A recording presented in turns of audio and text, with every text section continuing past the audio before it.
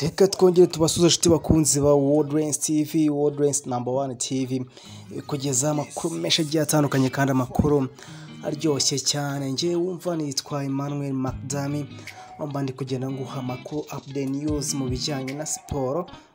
Showbiz by'umwihariko ndetse na politiki nibagiwe n'amakuru y'ubukungu amakuru yo mu bisata byose tuba tuhabereye kugira ngo nyine mukomeze mugubwe neza. Reka maze nisorize abanywanyi bacu badukurikiye bari mu ntara y'amajyepfo iburasirazuba iburengera bwaryo ndetse n'umujyi wa kigali nibagiye mu majyaruguru. Reka mere kandi ku bavandimwe b'abaturanyi bari mu gihugu cya uganda abari tanzania abari repubulika demokarasi ya kongo ndetse n'abari mu burundi mukomeze mugubwe neza cyane. Afurika yose ndabasuhuje mukomeze mugire amahoro y'imana diaspora nyarwanda hose aho muri abari muri erope abari muri aziya abari muri amerika canada na australia hose turabasuhuje kandi mukomeze mugubwe neza cyane. Nkunda by'umwihariko abantu bakunda kutwandikira ubutumwa bugufi kuri watsapu kuri ya nimero mukunda kuba ndetse n'abatera komenti batubwira ko banyurwa n'ibyo tubakorera cyangwa se n'ibyo tuba turi kubaha. Reka nsuhuza umuryango mugari w'abanyamurenge nabo bari mu nshuti zacu z'akadasohoka. Reka bashimire cyane kandi amasengesho yanyu turayakeneye kugira ngo wodi Steve ibashe kuzamuka. Rero amakuru mbafitiye muri showbiz nuko umwe mu bahanzi cyangwa se umwe mu bantu bafashije niyo bosco kumenya gucuranga gitari cyangwa se kumenya gukoresha igikoresho cy'umuziki ari cyo bita gitari yagize ubutumwa atangaza kandi anavuga ko ashimishijwe no kuba uwo yigishije yaragize icyo amenya. Inkuru dukesha ibinyamakuru bigiye bitandukanye byagiye byandika ko uyu mugabo uzwi ku izina rya Brian Blessed yatangaje amarira yatangaje cyangwa se imvamutima z'amarira avanze n'ibyishimo by'uko uwo yigishije igikoresho cy'umuziki ari we niyo bosco cya gitari ashobora kuba cyaramugiriye akamaro bityo akaba ageze ku rwego rwiza cyane. Bizimungu Brian uzwi ku izina rya Brian Blessed umuziki wo kuramya no guhimbaza imana yagaragaje uburyo atewe ishema n'iterambere ry'umuhanzi niyo bosco amaze kugeraho mu muziki nyuma yo kuba amuzi kuva kera akiri umwana atara atangira umuziki ndetse akaba ari we wamufashije gukora bwa mbere kuri gitari.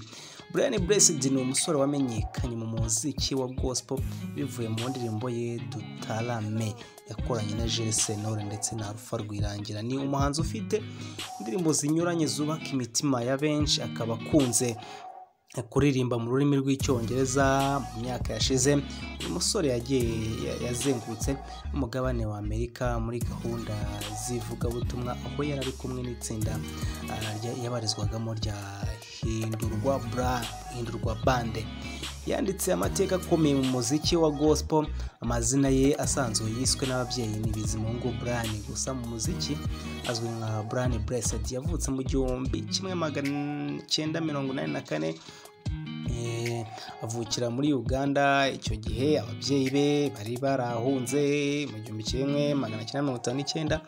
Ubwo yari arafite amezi atatu ni bwo se yaje gupfa agonzwe n'umuntu wabishakaga ndetse nyuma yo kumugonga ahita amukandagira nabwo abishaka.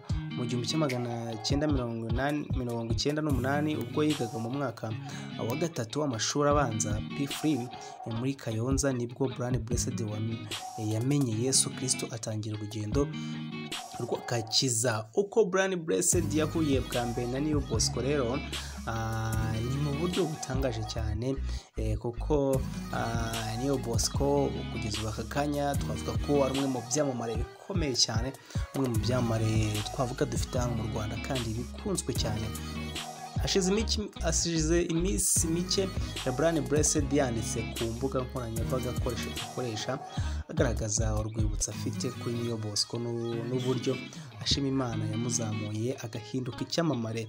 Ibi byatumye inyarwanda com ndetse n'ibindi binyamakuru bigiye bitandukanye birimo igihe ah, begera Brian Blessed bamubaza byinshi ku buryo yari amaze eh, ku byo yari amaze gutangaza kuri uyu muhanzi eh, w'impano rwose ikomeye cyane ari we Niyo Bosco. Ah, agira byinshi agenda abatangariza ah, kuri uyu muhanzi nyine w'icyamamare.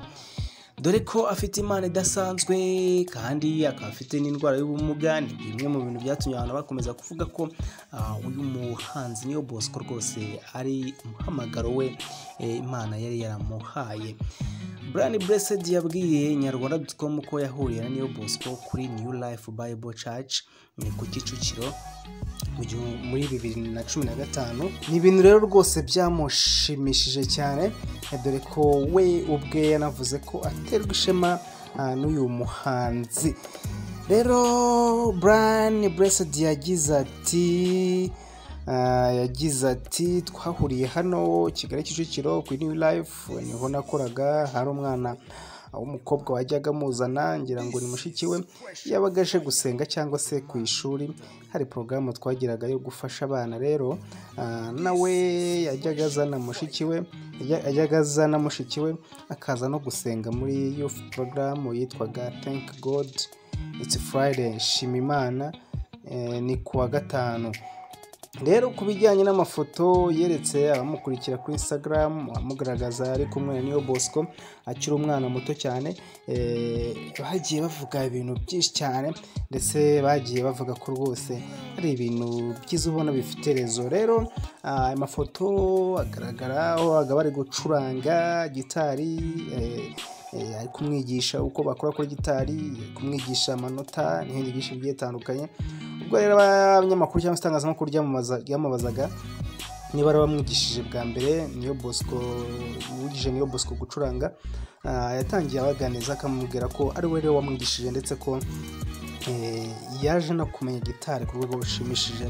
Ubu ngubu akavuga ko ubu ngubu yaba ari ku rwego rumwe n'urwe.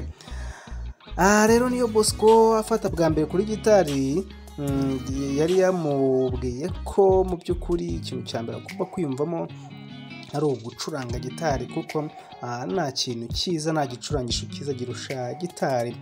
Brian Blessed yamenyekanye cyane mu ndirimbo dutarame yunze mati mu buzima uko umuntu akura ah, ni muri kariyeri y'umuntu. Agenda ahura n'abantu benshi cyane batandukanye bagira icyo bamufasha mu buzima no mu cyerekezo cy'ubuzima bwe.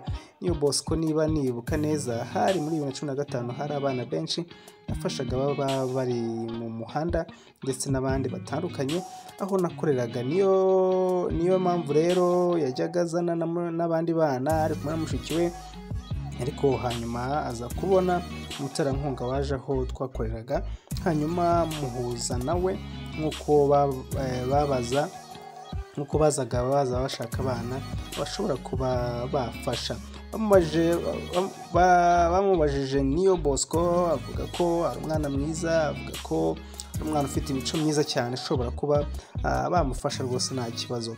Niyo avuga ko akunda kuririmba icyo gihe Eh, yaririmbye twese eh, bidukora ku mutima bityo bituma abaterankunga bavuga ko rwose bagiye kumufasha nta kabuza. Ubwo yasobanuraga uko urugendo rwagenze rwo gufasha niyo bosco kubona gitari aza azajya yifashisha mu muziki we Brian Blessed yagize ati twahise tujya mu mujyi n'uwo mubyeyi agura gitari arambwira ngo nishyire niyo bosco bari batuye ahantu kure y'aho nabaga ahantu hitwa mu gakoki. Niba nibuka neza baranyobora njya mu rugo iwabo. Ah, bosco araza yari akiri umwana kabisa.